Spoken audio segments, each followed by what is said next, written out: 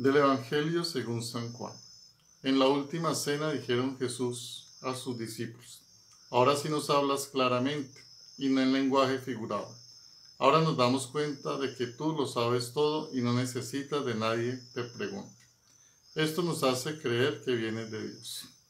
Jesús le respondió, ¿ahora sí creen?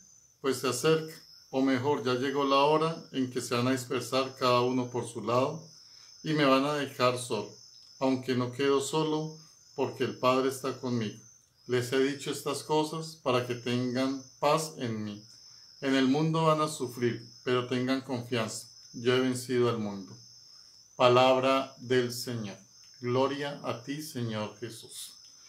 En este Evangelio del día lunes nos presenta una invitación muy concreta y es tener confianza en nuestro Señor Jesucristo.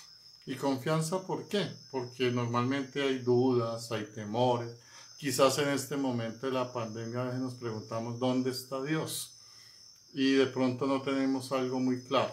Pero hoy el Evangelio nos invita a, tener esa paz, esa tranquilidad, pero sobre todo a tener esa confianza.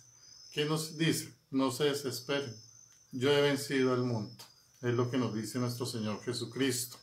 Y tengan confianza en mí y es la invitación principal que nos hace en el día de hoy.